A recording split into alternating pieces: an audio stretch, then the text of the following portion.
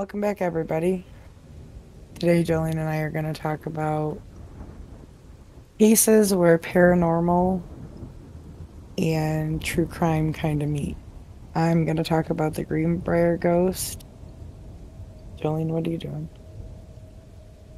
Oh, the the paranormal couple, Mark and Debbie. Con- I don't know how you pronounce her last name though. Constantino. Both of these cases kind of interweave both of our interest in true crime and the paranormal. The Greenbrier ghost is a woman named Elva Zona Heaster Shue. She was from Leesburg, West Virginia. And she was only married to her husband for just a few months. And this was like back in 1897. One morning, the little neighbor boy that helped her do chores around the house came over and found her dead at the bottom of her stairs.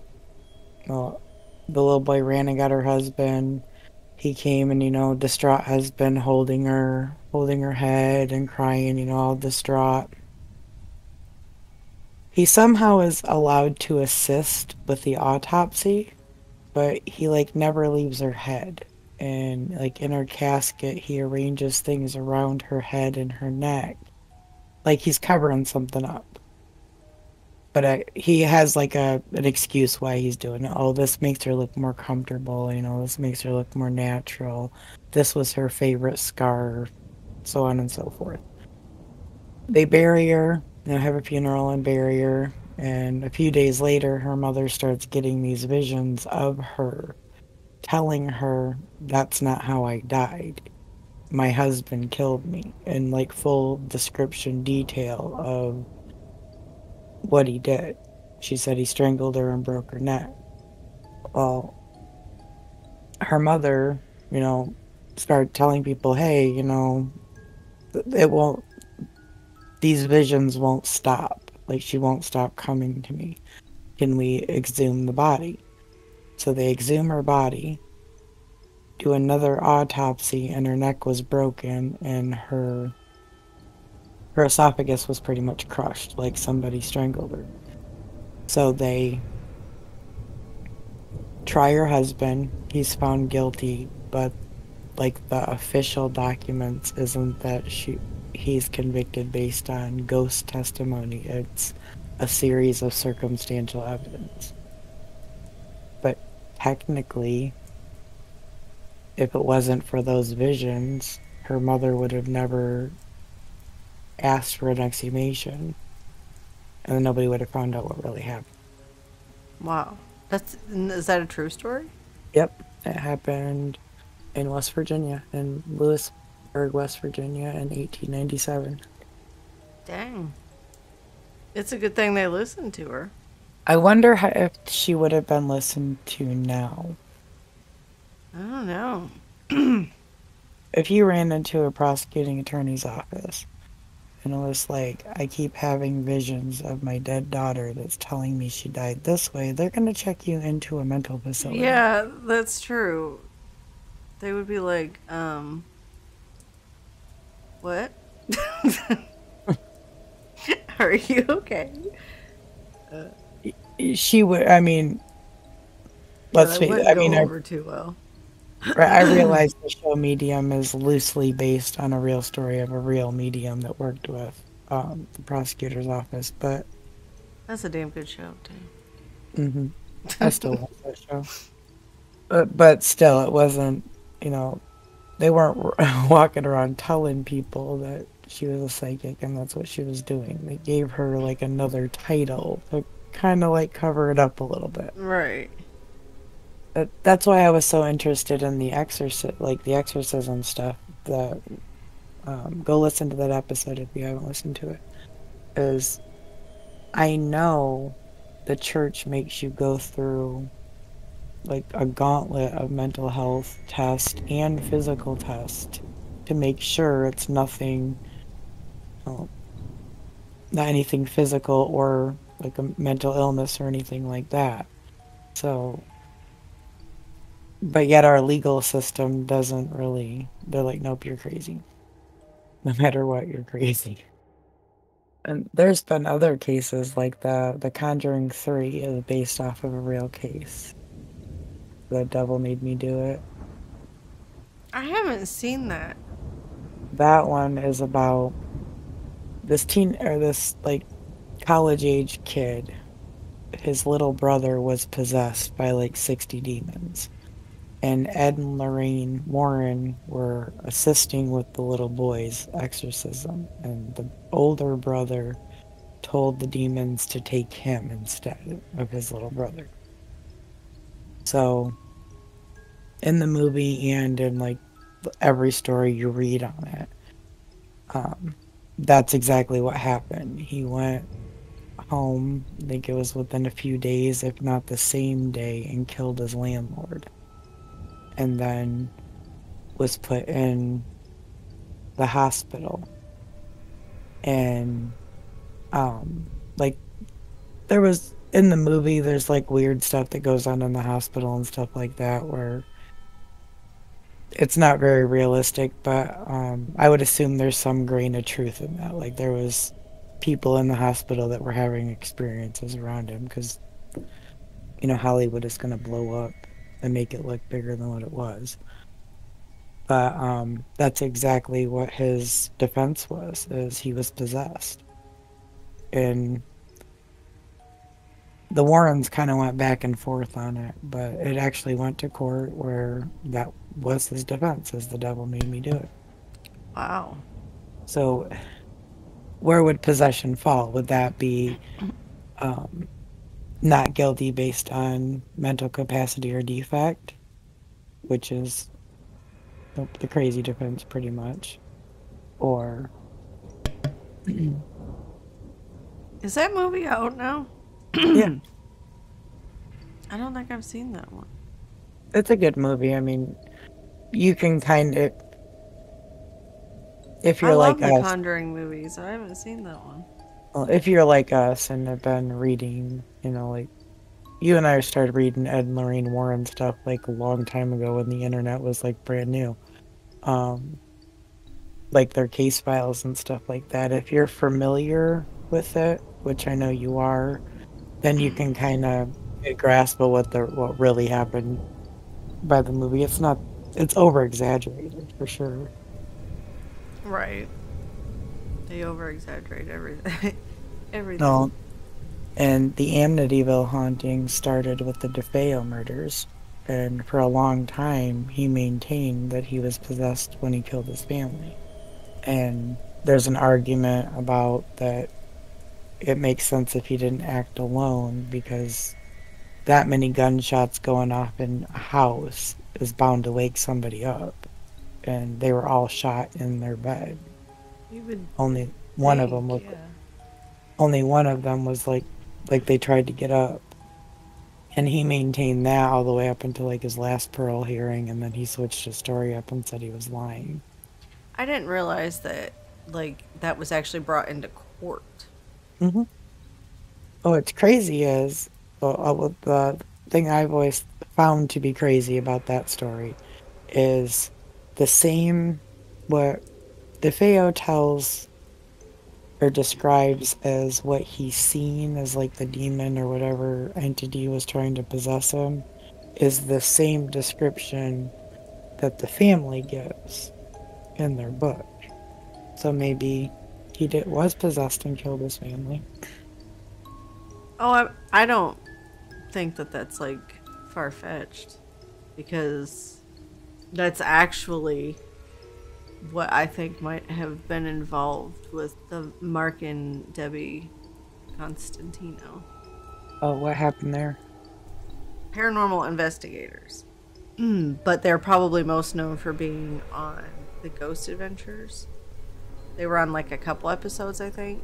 And he murdered his estranged, I guess she was estranged wife. They used to be married. Um, and then killed himself.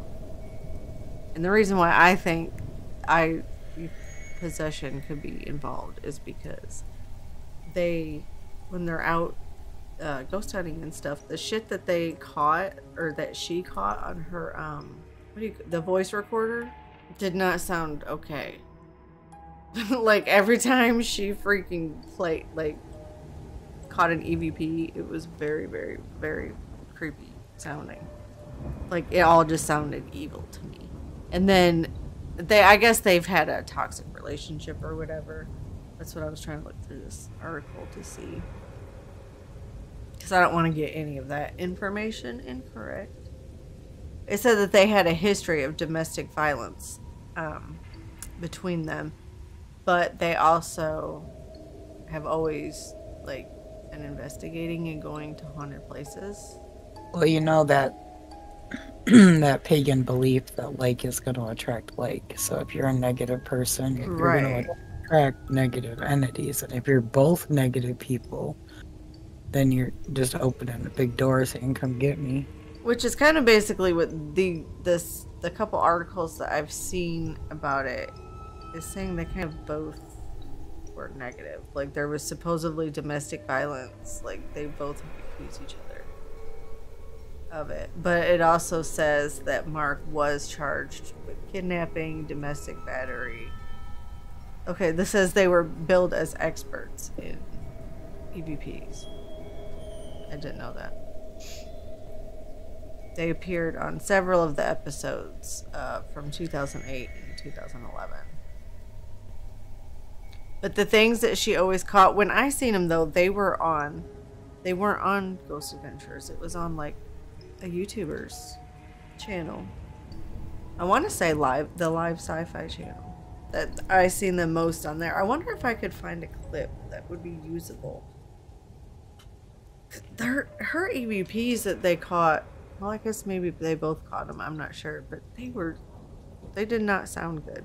And the energy between Mark and Debbie when I watched them looked, Like it just felt off through the screen. Like- I mean, it just felt off. I hope they weren't the type that was like bickering while they're on the job. Especially. So, did he get possessed or did she? I don't know. I always thought him until I seen was seeing more things where they said it was kind of both of them. Because they were saying she was abusive too, so maybe it's one of those situations where they were just both toxic, and maybe they were probably uh, maybe both of them. And there's that theory that it could just be one entity, but it's manipulating both of them. Yeah, or that. Oh, it was so long ago that I seen that, like, heard the actual EVP though. I wish I could remember what they were actually saying though, because it was fucking creepy. Usually EVPs don't bother me that much, because for one, you can't really understand what they're saying, any of that stuff. This shit was very. I don't know. We've caught some ones that were pretty clear. Just all of a sudden, a voice there where there wasn't when it was weird. It was just me, you, and Sarah. Yeah. And I'm like, wait, hello, who are you? excuse me, ma'am, and they would, you know, answering questions and stuff.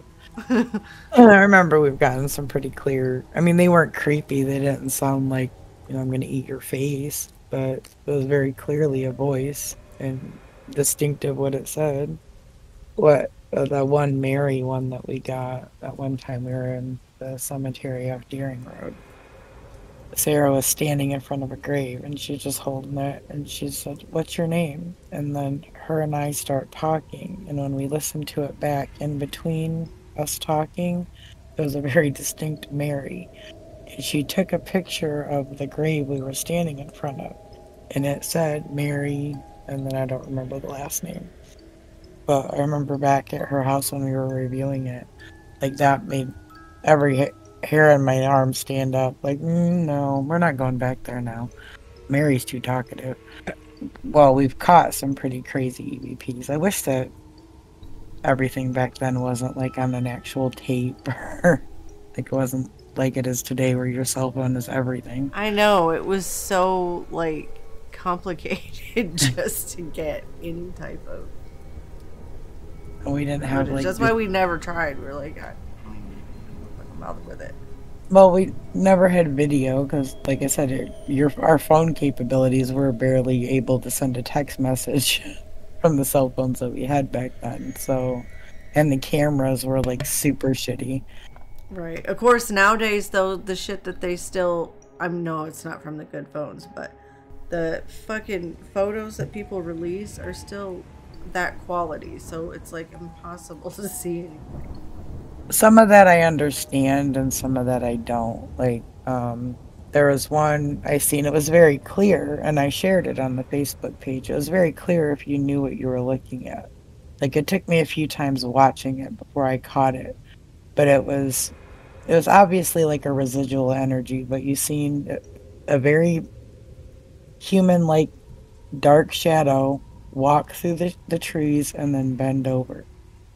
And it was like clear as day. I mean, there wasn't a person there, but there was uh, like a black shadow walking through there. If that was Photoshop, that dude like needs a job doing that shit. It was that clear. I mean, you couldn't see features because, of course, there was none, but right. it was very clear it was there. And when he bent, it bends over, it just disappears. Like, never was there. that would be like. Mm. Anyway, you know, you, you still haven't told us who died, what happened. Just that you think whatever uh, they were possessed. Oh, Somebody... sorry. Um, Mark, uh, I don't know if this is alleged or not. I want to say that they know because they're both gone. But um, he shot her and murdered her, and then he opted out. Yeah, yeah. A standoff. That's the word I'm looking for with the police and stuff. So he was a death by cop. Uh, what do you mean? Death by cop is when they purposely antagonize the police so the police have to shoot them. Oh no, I think he did it himself because they uh. heard oh. it inside before they were able to get in. Yeah, that definitely sounds like. There's not like really a whole lot of information though, other than they've you know have already they've gone through things and that Mark was charged with kidnapping and domestic uh, battery. Her oh, her daughter was their or their daughter was also charged with some stuff too. So could have you know been the influence though if they've been always doing this stuff. It could have totally influenced all of their life.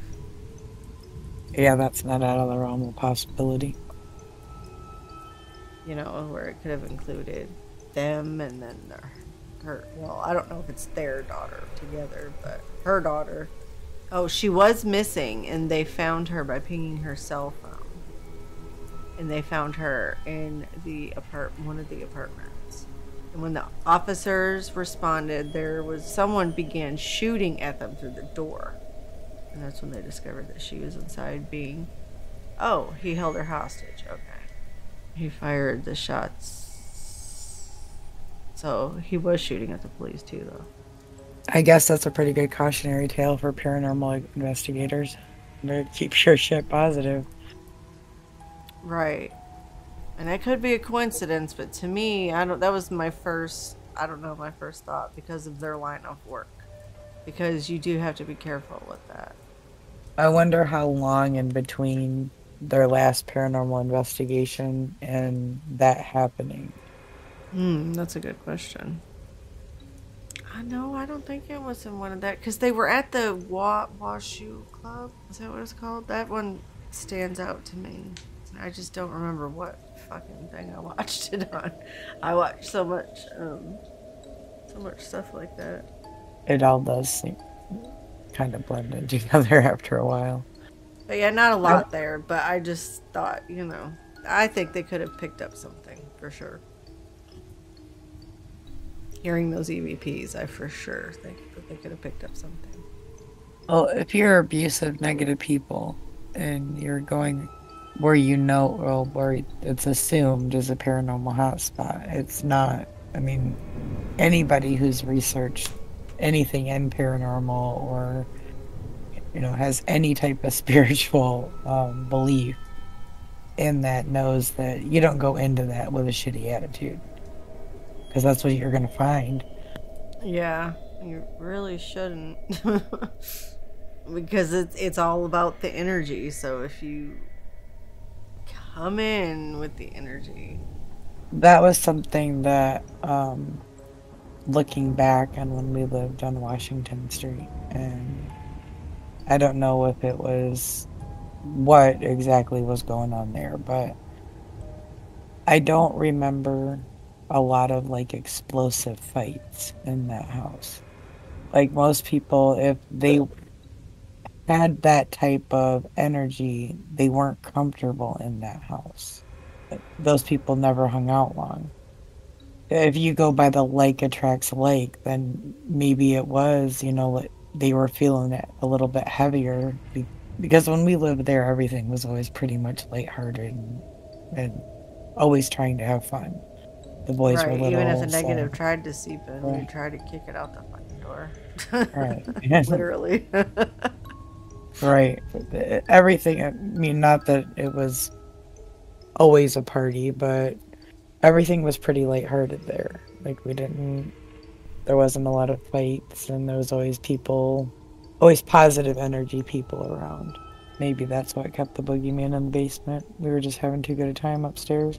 The and the only time that there was like a explosive thing that happened, it was done and over with in a matter of like seconds. They, um, that I don't want to say his name, but the person that when I was growing up that was always a dickhead. Um, you know who that is. Came like busting through the front door and King, my dog, just grabbed him and held him to the floor by his arm. And the cops came in, picked him up, and that was that. Then we just went on with whatever the fuck we were doing. There was, but there wasn't like that was like the only time in that house that anything like that happened. There wasn't a lot of fighting or arguing or any of that. Yeah, not that I remember. It was uh, mainly, you know, like if raised voices, it was telling the boys to go take a bath or something like that, or do their homework or their chores. It wasn't. Yeah, little mouthy teenagers or little yeah. ones was always what was involved. Yeah.